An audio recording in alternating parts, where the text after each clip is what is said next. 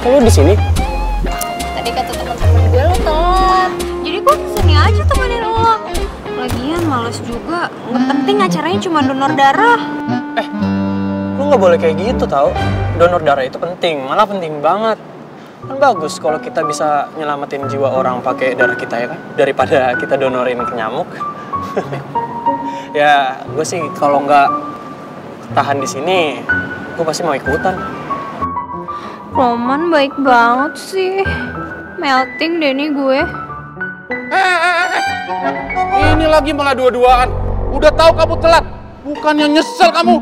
Pak, justru saya nyesel banget, Pak. Please, izinin saya masuk, Pak. Ya udah. Tadi guru piket bilang kalau hari ini lagi ada donor darah. Ya udah, kamu saya izin masuk.